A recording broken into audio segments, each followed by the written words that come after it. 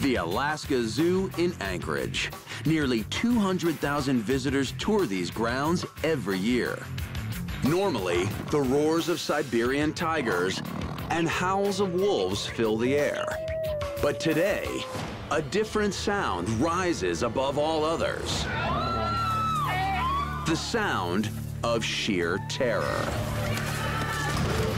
A tourist is caught in the jaws of an 850-pound polar bear. The 29-year-old woman hopped two safety barriers to get a closer picture of the beast. Big mistake. Now, her left thigh is being skewered by the bear's massive canines. With handlers minutes away, bystanders rip off tree branches and try to save the helpless woman.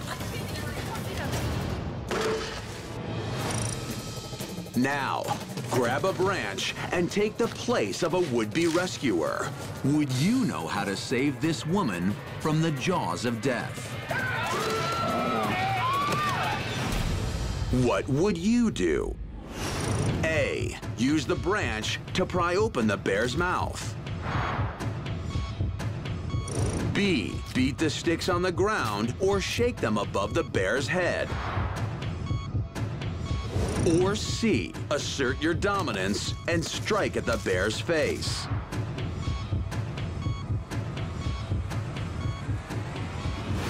Here's what you should consider. Armed with a flimsy branch, you're within reach of an apex predator and desperately trying to save a helpless victim from its killer grasp. The world's largest carnivore on land, the polar bear is a king among beasts. It can grow over nine feet long and weigh over a thousand pounds. Its paws, up to 12 inches long, are equipped with razor-sharp claws that can grow over two inches long.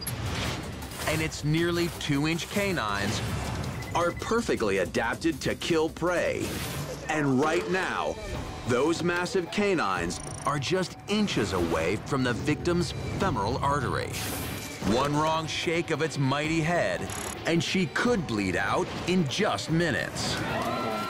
With the woman's life on the line, it's now or never.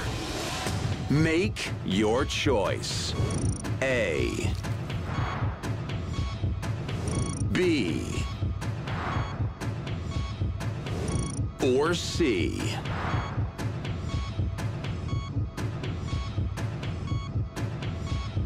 So, what would you do?